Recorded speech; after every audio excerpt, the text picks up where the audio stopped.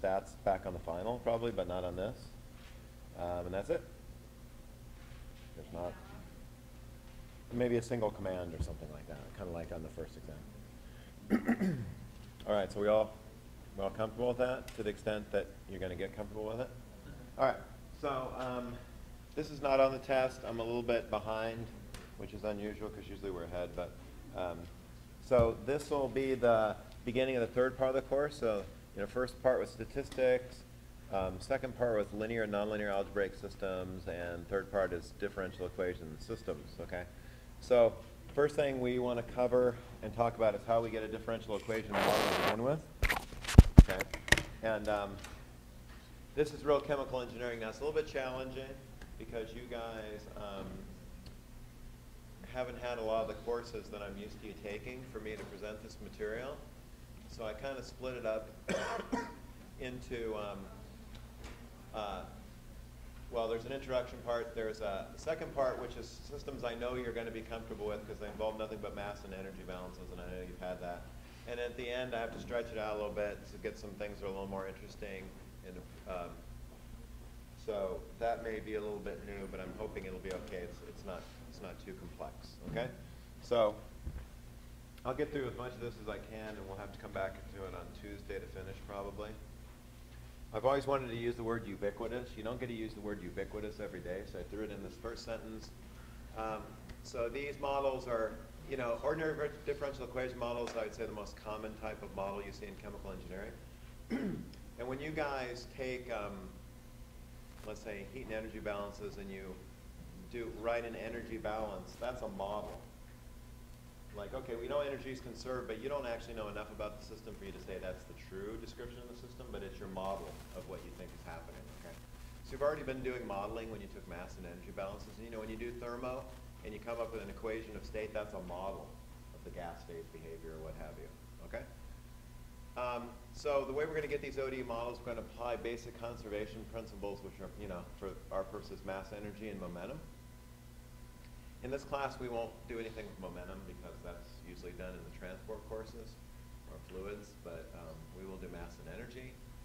So if we're going to write out a differential equation, hopefully you guys appreciate at this point there's some independent variable, like it's either time or some spatial coordinate of some domain that you're trying to model, okay? And so depending on the type of problem, that independent variable will change, and we'll talk about that. I hope you've learned that when you solve a differential equation model, you need a, something like a boundary or initial condition, right? You've been doing that, and I hope, I pray. Um, so if you have a problem you're trying to solve, you need some kind of boundary or initial condition to solve the equation. So if the independent variable is time, okay, then we call that we call the model a dynamic model or an unsteady state model or something like that. And then invariably you get an initial condition, you know, you, you say what something is at time equals zero and you want to evolve the system forward in time. Um, if it's a spatial domain, then it's at some point in the domain, like the entrance of a reactor, the exit of a reactor, something like this. We'll talk about all these things. if the model's linear, so a linear, well, I know you've seen this.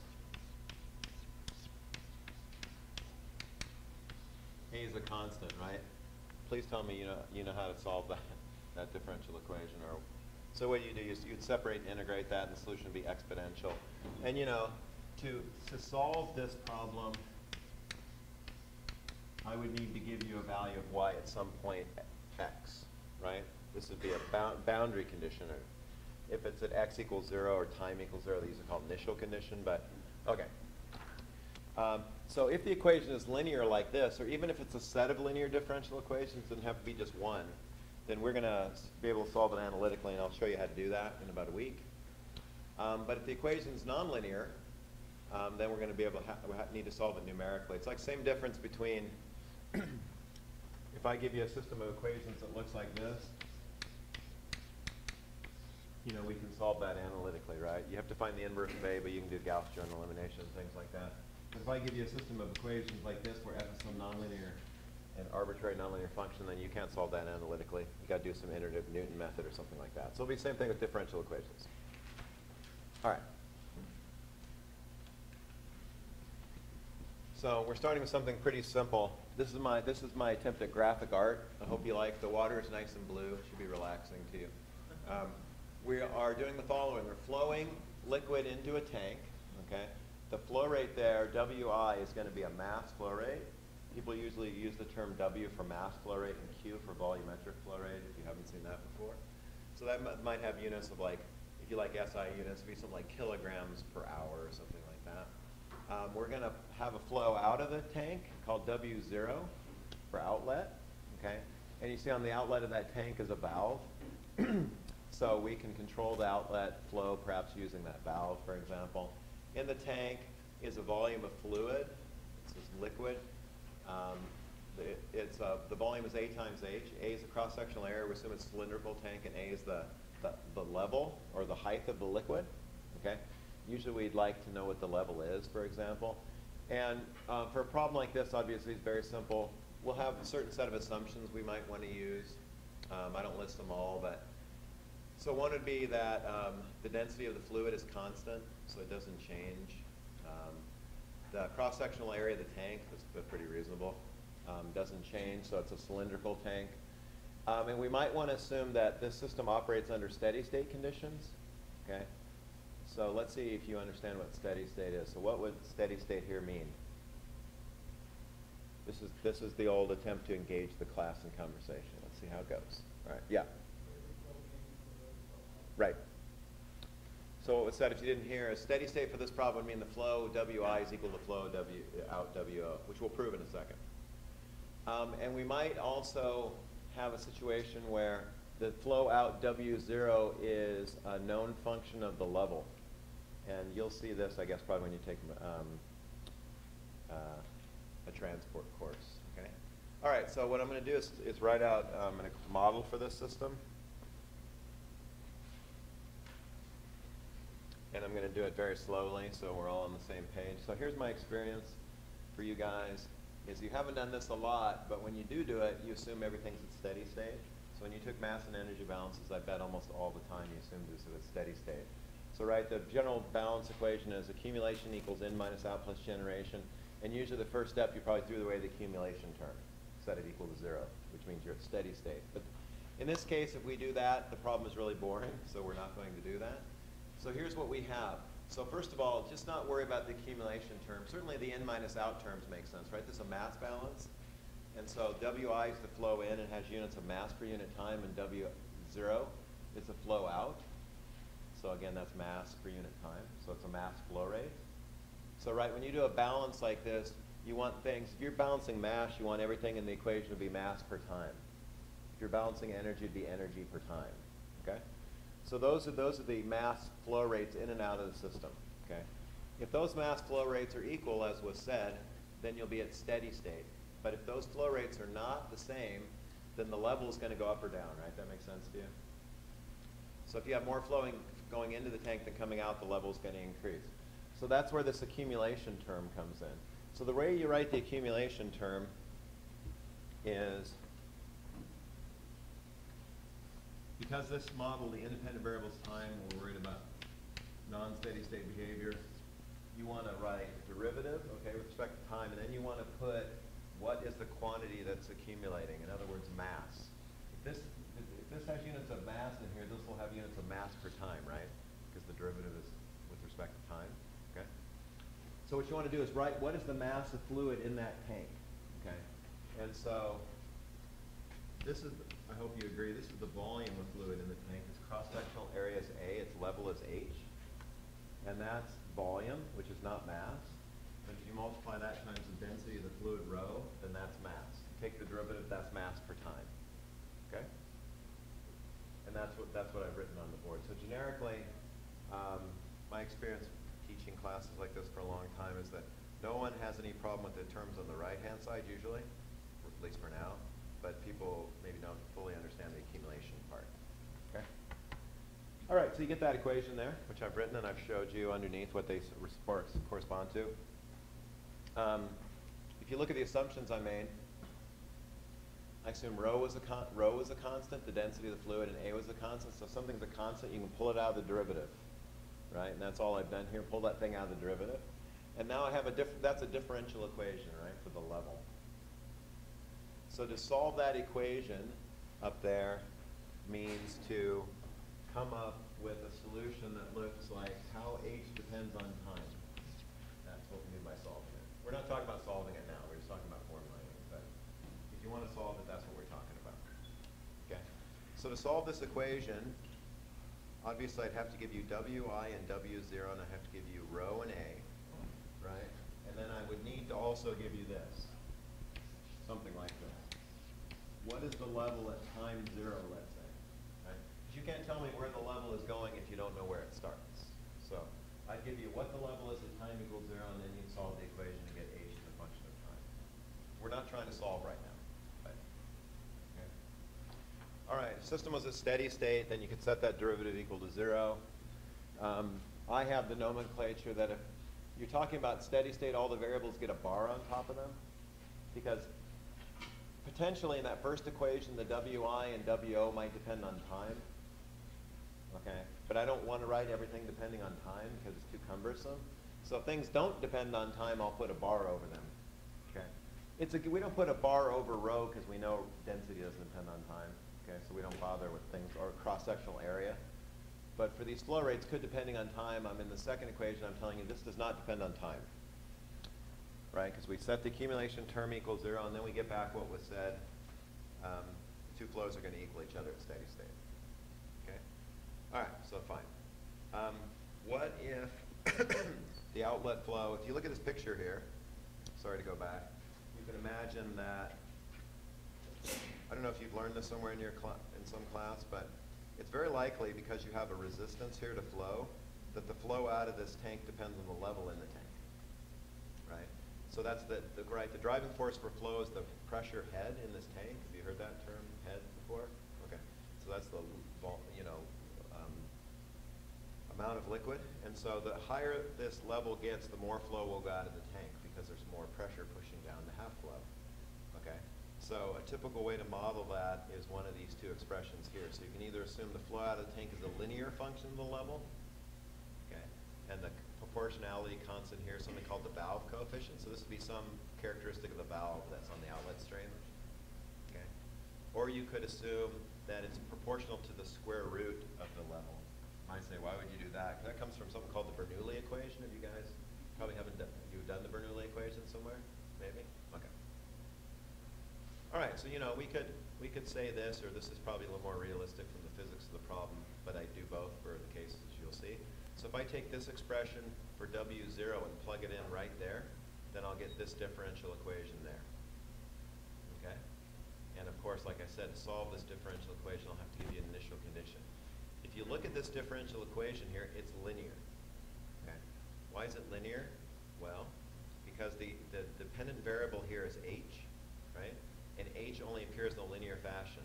So the so for a differential equation model to be linear, the derivatives have to appear in a linear fashion, and the variable itself has to appear in a linear fashion. So, for example, if this was h squared over here, that would not be linear. So this the derivatives this is linear in the derivative of h. This doesn't even involve h, and that's linear in h itself. That makes the differential equation linear. It's a key um, consideration because you can solve these type of things analytically. Okay. The, on the other hand, if the outlet flow here was equal to the square root of the level, so it just looks like this equation, except now the outlet term involves the square root, this differential equation is nonlinear because the, this is a non that's not a linear term. Square root, power of something, exponential, log, those are all nonlinear functions. So that's a nonlinear differential equation, and that's going to be a different beast to, um, to solve, okay? Now, in principle, both these problems can be solved by separating and integrating. You might not see how that's done because you've got, you- you've got this WI floating around, but you can get rid of the WI. I'll teach you how to do that later. And you might be able to separate and integrate. I think you can solve both these by separation and integration, right? So what kind of techniques have you learned to solve differential equations? All the usual, separate and integrate, integrating factors, um, trying to think, exact differential equations, did you do that? Okay. So you're learning all the usual suspects. okay, so those are great to learn because if you don't learn how to solve a differential equation, you don't even know what a solution of different differential equation means. But it's going to be commonplace that for the problems that we talk about, those methods aren't going to work. and they're not going to work for one of two reasons. One is that the linear, the differential equations are linear, but we don't have one of them, we have more than one. So I'm assuming when you guys did second order differential equations, you did a single differential equation that had a second order derivative, right? Like, you know, something like this.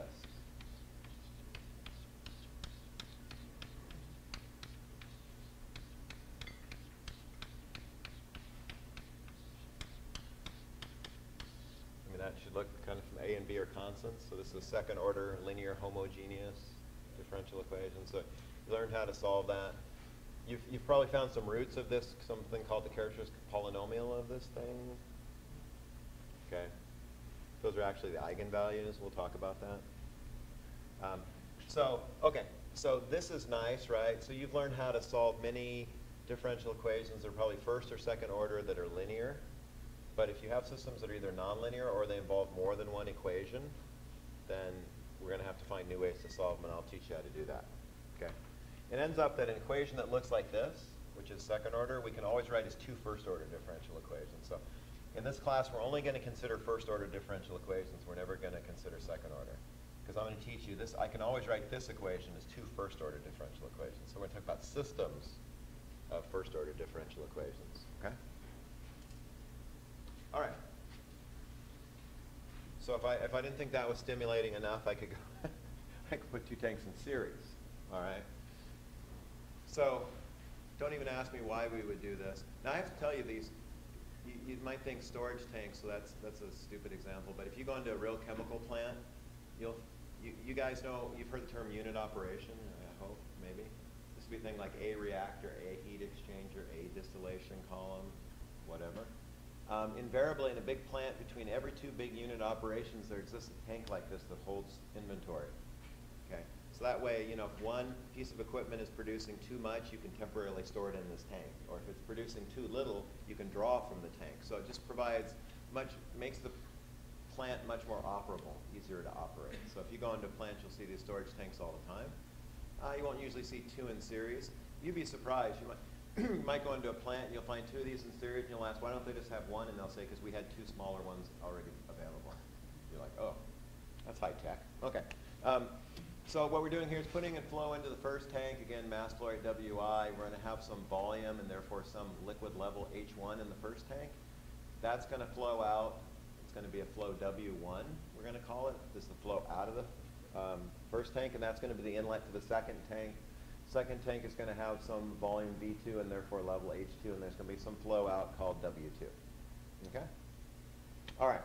So at this point, um, we can write out the balance equations for this. And they look just like before, right? So all we're going to do now is just do the same thing we did before twice. So it shouldn't be too hard to understand if you understood the first example. Okay, so we're, we're going to write a mass balance on this tank. So what is the accumulation term? It's the accumulation, in other words, ddt of whatever the mass of fluid in the first tank is. Well, the volume of the fluid is that. If you multiply that times rho, then that's the mass of fluid in the first tank. You set that equal to what flows in minus what flows out. Okay, and then again, we'll say what flows out of the tank is a function of the level of the tank, and we'll assume it's linear like that. Okay? So that looks just like the equation on the previous page. Just have a bunch of ones now because I have the first tank. and now we can take this if we wanted to, and we can solve this thing for the derivative. Right? So I can pull rho and I can pull rho A1 out of here, and then I can divide by it and get this equation. Typically when we write differential equation models, we like to write them where on the left-hand side is nothing but the derivative, and then the right-hand side is everything else, right? So the reason I divide rho and A1 across both sides of the equation is because I want only the derivative on the left-hand side, because that's the way we normally write them, as you'll see. Okay, so that's first tank. Second tank's more of the same, for the most part. Um, so you write out your accumulation term, right? It looks just the same, but now you're doing it on the second tank. The flow into the second tank is called W1, it's the flow out of the first tank. The flow out of the second tank is called W2, okay? And now both of these depend on levels, right? The W1's the flow out of the first tank, and it depends on the level of the first tank like that. W2 is flow out of the second tank, it depends on the level of the second tank like that. Okay? Pull the rho A2 out and divide, and you get this, this equation here. And again, solve a differential equation like this, I'll need to tell you what the level was to begin with. So if you take the two equations I wrote and just put them together, it's the one on the previous page, which I won't bother showing you because it's right there, and then the one I just derived, which is that one. Okay? This is what we call linear differential equation system. Okay? So first of all, why is it linear? Because you can see the dependent variables here are h1 and h2, and they only appear in a linear fashion. And I have a typo. I wish I could point. I wish I could jump. Would you be, you'd be duly impressed if I jumped up and touched the screen, right? Okay, that ain't happening, so let me come over here. So there should be an H2, I'll fix it. H2 right there, and there should be another H2 right there. So sorry about that. I dropped the H2 that appeared right there. Mistake. All right. Um, so if you look at this set of equations, your first thing you say, it's linear. Why? Because h1 and h2, the two dependent variables, appear in a linear fashion. That makes it linear. It's an ordinary, okay? What do we call it ordinary differential equations? Well, there's two kinds of differential equations, ordinary differential equations and partial differential equations. Have you heard the word partial differential equations? Yeah? So that would be an equation where you had two independent variables like time and space or two spatial coordinates. There, it's a whole new ball game than what we do here. So it's beyond the scope. It's love the low complexity. So we only talk about ordinary, which means one independent variable. Differential equation, that goes without saying. System, why do we call it system? Because there's two equations. Okay. So it's not just one equation, it's two. So my guess is you guys don't know how to solve this set of equations, right? And my guess is that you can't solve it for two reasons. Or I shouldn't say you can, but I guess you could solve one equation, right? Because th this equation is not homogeneous. Do you agree with this? If you were to take this equation and write it in the form I bet you're used to writing it in, it would look like rho A1 dH1 dt equals, what is it, Wi? minus CV1 H1, I think. Is that, that's what it would look like? Okay. Um, and so, my guess is you would normally write it like this.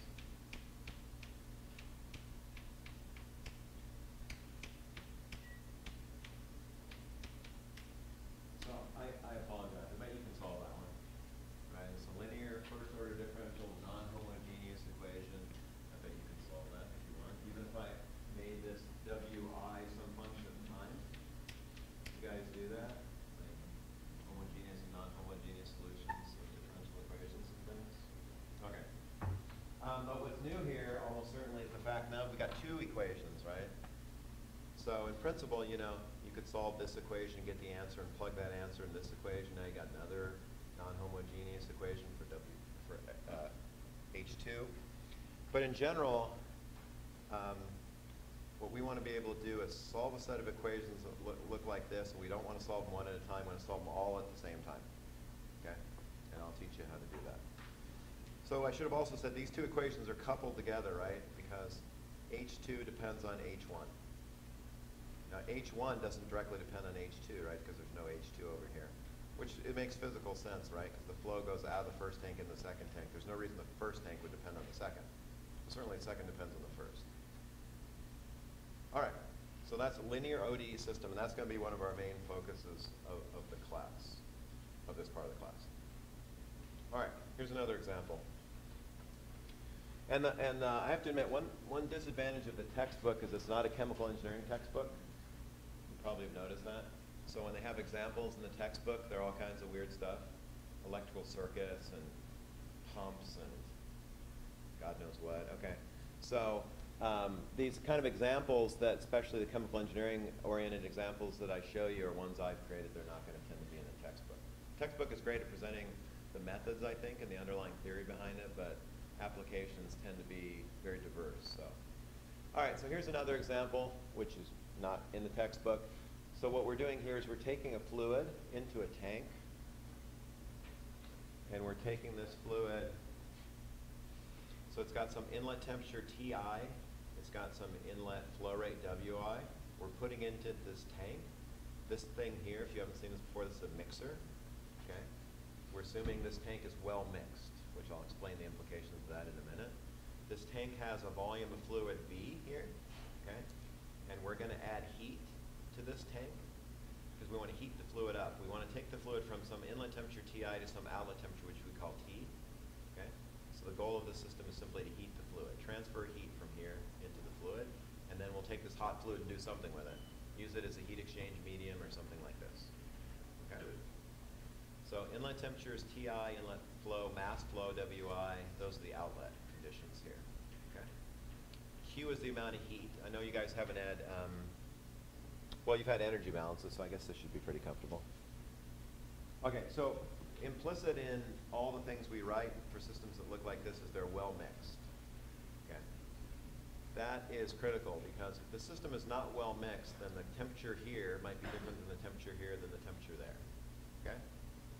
And if that's the case, then you need something called computational fluid dynamics. It's like several orders of magnitude more difficult than what we do. Okay? So at this level, we always assume things are well mixed. And obviously, if you have a big mixer and a small amount of fluid, you can mix it pretty well. In industry, things are often not well mixed because you have a huge tank and the mixer is not huge. So maybe in industry, kind of models we write out would not be that accurate because the system, we assume it's well mixed and it's not, but for the things we do, that'll be fine. All right, so here's the assumptions we're going to make to write out. So when you first start, you know, this is the process of writing differential equation models. Um, since I do this all the time, I don't list the assumptions usually, but it's often a good idea to list what assumptions you're making to write out the equations. So I'm going to make the assumption, first of all, the volume is constant, okay? So how could the volume be constant here? Well, you kind of see it in the diagram. If you had, if you had an overflow line, so you know you have a tank and then the flow out is whatever flows over the top, then you'll get constant volume. The volume will always be here because it won't flow out until it goes over this thing and then then go out this overflow line. Okay, so you can get an over constant volume if you want. And you might say, how do I know that it's constant volume? The, the answer is if I gave you a problem, I would tell you that. Like you not, there's no way for you to know on a piece of paper if it's true. So if I wanted you to assume it, I would tell you it's, it's to be assumed. Perfect mixing, that's always assumed. I just told you why. Otherwise, we can't do anything. All right. So you've got you're you're transferring heat from this coil here, or this heating device. Does it work now? Check, check. No, it doesn't. It's all a big lie. It's, uh, it's picking up on your sound. There's no discernible sound. Oh, sorry. There's discernible sound, thanks. All right. There's one question. It's like, how did he know it wasn't working? Where did he come from? you went and got him? No, I just. Oh, okay. I mean, I know him well. I'm just wondering how he, he knew something had gone awry. All right. So constant volume, I'm telling you this. Perfect mixing, we always assume. We're always going to probably assume this one as well. So you're transferring heat to a fluid, right? The fluid's probably hotter than the ambient. You understand? The out here is air. And so it's possible that this tank might lose heat to the surroundings. But we're going to assume it's insulated so there's no heat loss. Okay? And we'll almost always, unless I explicitly tell you otherwise, to assume that constant physical properties. Because you understand density and heat capacity, you've done density, I know, right? And you've done, you've learned about heat capacity. These things depend on temperature, right? So I'm telling you that these things are a weak enough function of temperature that even though the temperature of this tank gonna, may vary, um, I don't want you to worry about the variations in the density because they're small, so we're going to neglect them. Okay? And part of the art of modeling, not a system this simple, but maybe as it gets more complex, is trying to figure out what assumptions like this make sense or not. Because if you make an assumption that, that's a little bit accurate but makes it much easier to work with, that's reasonable. You know. But you know, what would be a, probably a stupid assumption is this system is isothermal. Th- That's the whole point is to predict the temperature, so probably not a good assumption there. So the only, the only real assumption that's, that I would have to tell you is that it's constant volume. These other ones we would always make. They're kind of standing assumptions. Okay. All right. So we need to write out an energy balance for this. But so the idea is that, that when you're going to write out a model, the first thing you want to do is look at the system and figure out what balances do you need. Okay? So for example, I'm going to go back if I look at this system and I say, do I need a mass balance? I'm like, I'm storing fluid in a tank. Probably. Okay. Do I need a component balance? I don't see any components here. There's no mixing, there's no reaction. No. Do I need energy balance? No one's talking about temperature, no one's talking about heat. So I don't think I need an energy balance, okay? So that's why I just do a mass balance on this. If I look at this one, I ask, do I need a mass balance? You always need a mass balance, let's just put it that way, okay? Do I need a component balance? There's no components. Do I need an energy balance? Looks like it, right? Because I'm putting in heat. I'm, I'm saying the temperature going in is different than the temperature coming out. So, yeah. So let's write a mass balance and let's write an energy balance. So there's the mass balance. So the, we're going to have first the accumulation term. So we're going to take the derivative of the volume of the fluid in the tank. The volume of the fluid in the tank is rho times V, right? Rho times V is mass. Take the derivative, that's mass per time. Rho's constant, volume's constant. Therefore, that derivative is zero. Okay, that's why I wrote it zero. And that has that accumulation term, which in this case happens to be zero, has to equal the difference between the fl mass flow in and the mass flow out. So all that mass balance tells you is the flow in and the flow out are equal to each other. Okay? But if I were to give you this problem on an exam, it would be a good idea to write this. Okay? You understand? Because sometimes in the exams, as you'll see, probably on the final exam, is that sometimes I'll ask you to derive a model that looks like the one, and then I'll have you do a bunch of stuff with it, but I'll have to give you the equation, because otherwise you'll get zero. You say, like if you can't derive the model, you can't do parts B, C, D, or E, then get zero. That's not good. So oftentimes I'll give you the equation, and I, will tell you to derive it. So um, even though this may or may not be obvious to you that this is true, it's obvious to me, um, it's a good thing to write it out and show it. Okay? All right, so now you have to do an energy balance. I should probably say enthalpy balance. You guys, do you guys do enthalpy yet? All right. I always tell my wife the two things I hate in life are, are gravity and entropy. Okay? She's like, you're really weird. Okay. But I hate gravity because I'm always dropping stuff on the floor, okay, and having to pick it up. And I hate, I hate uh, entropy because every time I'm trying to pack like a bunch of cords into a small space, entropy tries to impede my progress. Okay. But enthalpy is pretty cool. I have no problem with it. And it looks a little something like this. So let's, let's neglect the accumulation term there because maybe it's a little bit confusing. So do you, do you guys know that enthalpy is a state function? Okay. So what I've done here is I've written out um, the enthalpy of the inlet stream. Okay. You've heard of MCP delta T, right? It looks something like that. So this is the temperature, and to calculate the enthalpy of a stream, that temperature Ti, I have to do that relative to some reference temperature, right? That's what, that's what you mean by it being a state function. And so Tref is whatever reference temperature I choose. It doesn't matter what it is. It won't, won't matter in the end, okay? So that's the difference between the temperature of the inlet stream and, and my reference temperature. I'm going to multiply that difference times heat capacity, and I'm going to multiply that times the mass flow rate. Not mass, but mass flow rate. So instead of getting energy, I'll get energy per time.